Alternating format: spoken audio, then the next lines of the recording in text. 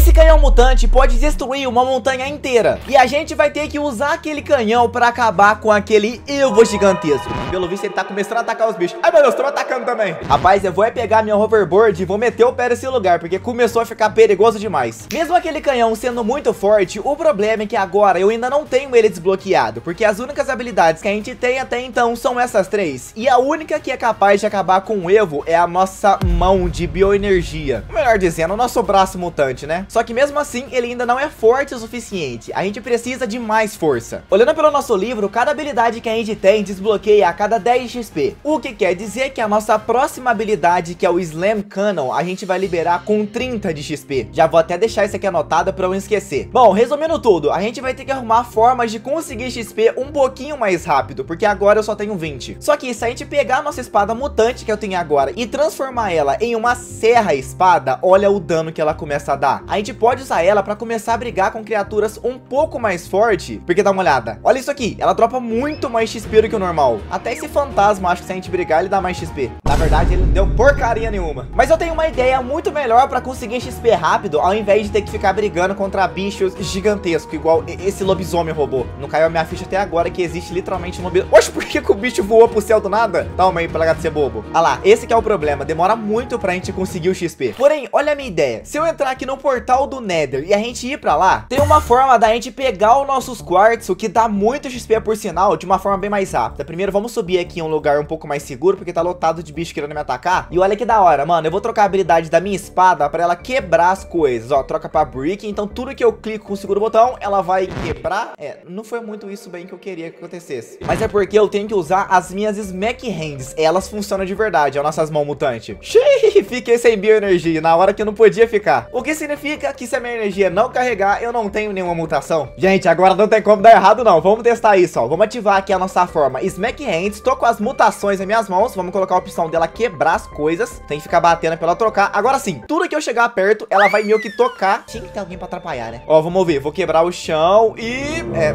não tá funcionando. Mas não quer funcionar porque eu sou um jumento. Tem que ficar batendo, ó. Eu vou dar um clique naquela, naquele lugar onde tá nosso quartzo. E olha que legal. Vai começar a quebrar, ó. É, não quebrou o quartzo, mas o som que eu tava quebrou foi tudo. Agora vai, toma. Quebrou! Finalmente deu certo. Isso é bom que a gente consegue ficar pegando XP de uma forma muito mais eficiente, sem precisar de uma picareta. Só que tem um grandiosíssimo problema. A nossa bioenergia, ela já tá quase acabando. E quando ela chega em zero, eu perco a minha mutação. A gente tem que arrumar alguma forma de resolver esse problema para eu ficar farmando XP infinitamente. Porque, ó, fazendo essa estratégia é fácil pegar XP, vocês estão vendo, né? E eu não tô tendo dificuldade nenhuma para falar a verdade. Eu só bato para frente, os blocos eles quebram automático e voilá, a gente tem muito XP e até bloco de graça sem fazer nada. Mas quando a minha energia acaba, a minha mutação some. E pra gente resolver esse grande problema da nossa bioenergia, eu pensei em uma forma que talvez funcione. Só que para isso eu vou ter que testar na prática. Eu tô conseguindo usar três tipos de mutações, mas elas meio que acabam por causa da nossa energia. E eu tava dando uma olhada na craft table e tem uma forma de eu virar o Rex de verdade, criando o óculosinho dele e até mesmo criando uma roupa, a jaqueta do próprio. Então se eu conseguir me tornar no Rex por completo, será que a minha bioenergia ela recarrega normal? E para de ficar toda hora carregando pra parar de perder as mutação? A gente vai precisar de algumas coisinhas e até por isso que eu saí atrás de conseguir elas. Uma delas é a nossa cor vermelha, o corante vermelho para ser mais exato. Só que eu ainda acho que dois só não vai ser o suficiente. Eu vou precisar de mais algumas flor vermelha. O legal é que se a gente parar pra olhar no mapa, só tem flor amarela. Cadê as vermelhas? Sumiram? No, que sorte! Eu lembro que o nosso couro era uma coisa que eu também ia precisar. Ainda bem que a gente encontrou uma vaca pelo meio do caminho. Não só uma, como duas. Valeu, vaquinha. Lã é uma coisa que eu também vou precisar muito, então eu acho que uma tesoura vai me ajudar muito nisso daqui. Porque, ó, pô, a gente pega duas lã de uma vezada só, só numa pancada. Quatro. Meu amigo, esse daqui, sem dúvida nenhuma, é o paraíso das ovelhas, tá? E não acaba não, quanto mais eu ando, mais ovelha vai aparecendo. Bom, eu acho que com essa última eu já tenho todas as lãs que eu preciso pra fazer a roupa. Eu até achei as flor vermelha que eu precisava, mas ela tá num lugar que não é muito convincente pra mim. Vamos só pegar a flor então e não voltar pra trás, né? Segurança. Também vou precisar de flores azuis. É até bom que eu não vou precisar ter que ir lá na caverna pra gente pegar lápis azuis. Só com essa plantinha aqui, ó, já resolve todos os nossos problemas. Eu acho, pelo menos. Vejamos. É, ela vira corante azul. Então tá ótimo. Já o nosso vidro, qualquer lugar lugar que eu for, a gente encontra areia. Acho que foi até bom eu pegar apenas quatro, porque olha o tanto de bicho que começou a me atacar já. Eu vou aproveitar desse daqui pra gente conseguir um pouco mais de XP, só que... Eita, pica, esse aqui não morre, não? É imortal esse bicho? É, mas graças a ele eu consegui chegar a 25 de XP. Muito rápido ainda, tá? Meu amigo, olha isso, que bizonho. Tem uma ovelha com três cabeças. Que negócio mais feio. Bom, eu acho que eu peguei tudo que a gente precisava. Agora aquele negócio. Voltar pra casa e colocar tudo em prática. Eu não sou um cara que sou muito fã de ficar minerando e nem ficar matando mob infinitamente. Então a gente pensa em uma forma um pouco mais rápida de ganhar XP. Ó, as areias a gente vai deixar assando e as lãs que a gente pegou eu vou transformar nas cores que eu preciso. Eu vou precisar apenas de uma lã azul e o restante tem que ser tudo vermelha. Mas a minha conta deu errado, eu vou ter que buscar mais uma flor. Agora sim, tudo pronto. Bom, vamos fazer então os painéis de vidro e a gente pode começar criando a roupinha do nosso querido parceiro Rex. Já o óculos, a gente vai ter que fazer painel de vidro laranja. Eu nunca nem fiz painel de vidro laranja no Minecraft. Bom, eu só não sei se a roupinha dele serve como armadura. Vamos colocar só pra testar. É, eu acho que não serve como armadura, hein? O meu medo é só ela não proteger nada. Eu vou tirar aqui, deixa eu ver. Desceu o símbolo de armadura. Agora a gente coloca o peitoral e... Nossa, ela protege melhor. Caraca,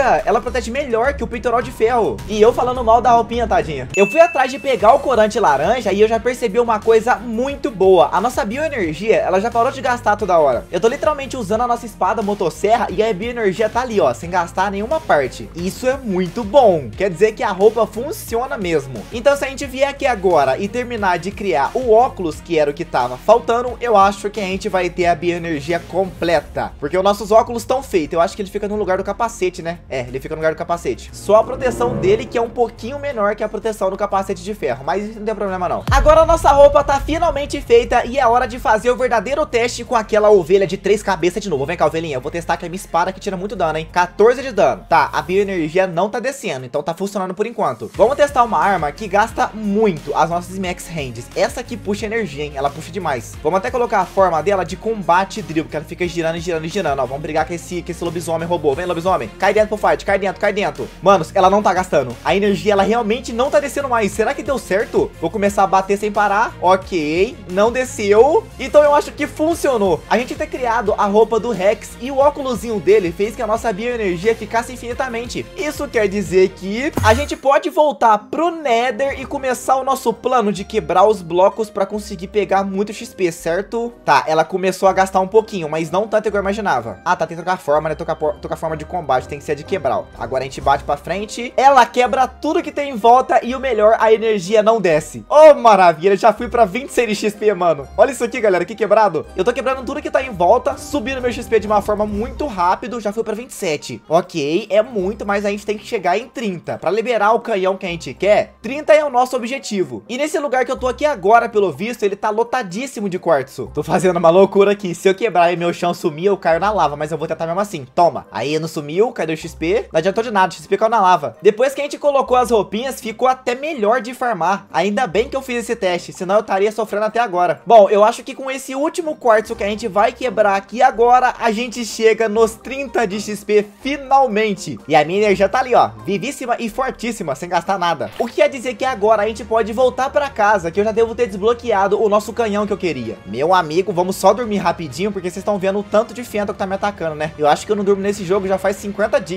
O bom é que por eu ter quebrado muito bloco do Nether, olha o tanto que Netherrack deu pra mim. Deu pra muita coisa. Bom, vamos ver agora. Hora do teste verdadeiro. É só a gente vir aqui em ativado, selecionar a forma de criança e pegar a habilidade de Slam Cannon. Ela veio pro inventário. Caraca, olha o tamanho desse negócio. Como é que ele funciona? É só aperta o Shift, ele carrega? Ah lá, ele carrega, vocês viram? Ele meio que coloca munição na parte de trás, então agora em quem eu atirasse, eu daria um dano muito alto, certo? Não sei vocês, mas eu que não queria tomar um tiro desse canhão na cara, deve doer. Porém, a pessoa que a gente vai fazer esse teste tá ali na frente me esperando. Não pode nem se dizer que ele é uma pessoa, né? Que é um monstro, é um bicho bizarro. Ah, e agora que eu fui ver, ele tá lotado de capanga em volta dele. Então primeiro a gente vai ter que acabar com os capangas pra depois atacar o Evo. Essa criatura deve me dar muito XP, muito mesmo. E vai ser até bom a gente brigar com ela pra liberar a próxima habilidade, que é o Punk Busters. Tá, primeiro vamos usar aqui a nossa serra elétrica pra acabar com os servos dele que começaram a me atacar já. Olha o tanto que tá vindo. Nossa, tomara que não fique spawnando toda hora esses bichos, porque tá parecendo ter um tanto deles. Beleza, vamos chegar pertinho, mirar o canhão. Toma! Ué, não atirou? Ué, gente, o canhão não saiu. Vamos tentar de novo então, vai. Toma. Foi. Pera, será que isso deu dano ou nem mexeu na vida dele? Vamos pegar aqui mais uma munição. Atirei. Agora fica paradinho. Evo toma na cara. Nossa, tá dando sim, gente. Tá dando. Sim. Só que não tô conseguindo fazer nada porque tá lotado de bicho. Vou acabar com todos eles. Rapaz, tá compensando. Olha o XP que eles estão me dando. Nossa, se os serpos desse Evo tá me dando estrutura de XP, imagina ele mesmo. Então, antes de brigar com o Evo, vamos acabar com eles primeiro. Bom, pelo que eu tô vendo, não tem nada em volta dele agora, só tem uma pessoa na garganta dele, que eu acho que eu tenho que salvar. Tô em dúvida agora se a gente usa o nosso magnetismo pra controlar ele pra onde eu quiser. Nossa, que não compensa muito não. Ele começa a me dar dano. Vai ter que ser no canhão mesmo. Toma canhãozada, toma canhãozada na cara. Carrega, atira. Carrega, atira. Vou ter que fazer isso, senão vou gastar toda a nossa bioenergia. Ô, gente, na real, o que eu tô vendo é que a minha serra elétrica tá dando muito mais dano do que o meu canhão. Eu acho que dá pra usar os dois nessa batalha. A gente usa um pouquinho a serra, quando eu afastar, a gente usa o canhão. Tipo agora, ó. Toma na cara. E aí eu chego perto e dou um pouquinho mais de dano, porque ele já tá na metade da vida. A nossa próxima habilidade vai liberar quando eu bater 40 de XP. Então eu tava pensando em uma forma de fazer uma farm infinita com esses bichos que o Evo fica spawnando toda hora. Porque a Punk Busters, que é a nossa próxima habilidade, libera com 40 de XP. Então fazer isso tá me parecendo uma boa ideia, principalmente porque eles são bem fraquinhos e dropam muito XP. Oh, eu acho que compensa. Vamos só dar um jeito de acabar com esse primeiro Evo, porque depois a gente vai atrás de outros também. Acho que foi. Eu acho que eu acabei com ele. Nossa senhora, solamos esse bicho. Cadê o XP que ele me dropa? Não é possível que um bicho daquele tamanho não vai me dropar nada, nem um pequeno XP. Ah, não, dropou sim, ó. Tá bem aqui embaixo. Além de vários outros itens também. Peguei os itens. Cadê? Tem mais XP dropado? Você tá brincando com a minha cara que um bicho de 500 metros igual ele não vai dropar nada de importante. Tá, vamos ver pelo menos o XP. É sério isso? Não tapou nem... Ah, não tem mais ele atrás. Uh, ainda bem. Vamos ver. 34. Fui pra 35 de XP. Mas ainda assim é só isso. Não adiantou nada brigar com esse bicho. E pior, ainda tem um encosto nas minhas costas. O que, que esse negócio atrás de mim aqui, velho? Sai das minhas costas, bicho. Ok, ele agarrou no mim, não quer sair mais. Nossa, mas eu percebi uma coisa muito ruim pra gente. Quando eu briguei com o Evo, ele acabou com o meu traje. Não foi só a armadura de ferro, ele acabou com o traje inteiro. Do Rex também. Por essa daí eu não esperava. Eu achei que o traje ele duraria bem mais tempo, o que não aconteceu. Eu quase destruí o nosso mural de mutações por clicar com o botão errado. Deixa eu até guardar a nossa próxima arma que sumiu no meu inventário. Aí, deu tempo de guardar ela. O mais legal é que tá faltando um pouquinhas pra gente liberar. Eu até posso tirar essas duas, porque restam três habilidades. Que, inclusive, já é a nossa próxima meta. Agora que a gente tem o nosso canhão, eu preciso desbloquear as outras habilidades ainda. Tem uma forma da gente transformar o nosso corpo em uma moto, e eu quero muito fazer isso. Só que primeiro a gente vai ter que pensar em uma forma de ganhar XP rápido, porque tem algumas criaturas que... Que negócio que é? Tudo bugado, velho. Ah, é, eu tô controlando ele magneticamente, né? Então deixa eu trocar aqui a habilidade do meu garfo pra outra habilidade. Vamos pegar aqui, ó, só de dar dano. Mano, por que que esse bicho tá nas minhas costas? Alguém pode me explicar isso? Ele tá tentando atirar em mim em cima das minhas costas, qual o sentido? Bom, os animais não dão nada de XP. Olha que estranho esse bicho grudado atrás de mim. Ah, tá, ele foi de F. Ué, o zumbi matou ele? Não sabia que o zumbi brigava com os bichos, não. E foi aí que eu lembrei de uma forma infalível de conseguir XP. Usando um próprio spawner das cavernas. Só que pera aí, pera a gente não vai ficar usando essa espada, senão ela vai quebrar. Na verdade, já foi embora, né? Ela tá com a metade da vida. Vou gastar o restante que sobrou, vai. Não tem muito o que fazer mesmo. Ô, gente, é impressão minha ou a espada que a gente tava usando pra farmar, ela só se regenerou sozinha? Tá, isso foi mais estranho do que eu imaginei, mas eu tô curioso pra testar isso agora. Porque se for verdade, eu fico usando ela pra farmar XP. Vou até dar uma olhada nesse baú pra ver se tem algo de interessante. Tem trigo pra gente pegar, um pouco de carne, mas nada de muito relevante não. Tem até um disco de música. Eita, tô achando que o lugar que a gente tá farmando esses zumbis não é um ótimo lugar não, viu? Começou a se espalhar os blocos de Warden. Eu tenho certeza que eu não tenho força pra brigar com o Warden ainda. Não aparece não, Warden, por favor, cara. Ah, gente, agora a espada quebrou. Não entendi foi nada agora. Bom, pra gente farmar um pouquinho mais rápido, eu vou usar o nosso BFS na forma de motosserra, porque ela não gasta, né? A gente já viu que não gasta. E na forma de motosserra, além da gente dar 14 de dano, o que é muita coisa, eu ainda vou farmar muito mais rápido de XP com zumbis. Acho que com esse último zumbi já vai dar a quantidade que a gente precisava. Nível 40. Só surgiu um problemaço agora. Como é que eu vou salvar esse spawner zumbi, sendo que a gente tá dentro do Minecraft Bedrock? Não tem como a gente ver as coordenadas. Fazer o quê? Vamos ter que usar a nossa mente pra lembrar o caminho. Mas agora a gente pode limpar nossas máquinas que a gente tinha e com isso eu vou liberar a nossa quarta automação. É, liberei errada. Na verdade, já é a nossa quinta, a Punk Busters. Ué, é, é, é duas pernas? Não vamos jogar o livro pela capa, não. Vamos ativar essa perna pra gente ver como é que ela funciona. Ok. A forma que a nossa perna vira uma mutação é muito legal. Ela vai crescendo, ó. Eu vou desabilitar e vou ativar de novo, ó. Pô, é, não, agora, agora foi sim. Agora não cresceu, não. Mas eu fiquei super curioso o que, que ela pode fazer. Já descobri, já. Era meio óbvio, né, Alex? É o tamanho da tua perna agora, isso aqui é pra você pular mais alto. Só que eu acho que ela não tem só isso. Se eu apertar o shift e bater, vamos ver se ela tem algum tipo de habilidade diferente. Sabia que ela tinha alguma outra coisa. Ela tem um stomp e tem um repulsão. Tá, vamos ver o repulsão como é que ele funciona. Eu pulo no chão e pô, é isso? Ah, olha que da hora, ó. Se eu apertar shift segundo botão, a gente dá um pulão pra frente. Só tem que aprender como é que usa direito. Tem uma forma da nossa mutação que se chama stomp. Será que quando eu piso nos bichos eles tomam dano. Pera aí, fica parado. É, não tomou dano nenhum, não. Ah, entendi como é que funciona. Se liga, ó. Eu vou pular pra frente, bato, pou. Olha isso, a gente começa a pular muito alto quando a gente bate no chão. Vamos ver o limite que dá pra chegar. Toma. Nossa senhora, fui muito pra frente. Olha que legal, eu vou chegar na casa, hein. Vamos pular. Vai pra frente. Toma. Eita, pega. Fui jogado pra frente do nada. Gostei. Não vou mentir, não. É uma habilidade muito legal pra quando a gente estiver perto de morrer ou em uma batalha muito chata, a gente consegue usar ela. Já vou até colocar no nosso moral de mutações, porque compensou. É muito top. Mas além dessa, ainda restam duas mutações mais fortes ainda.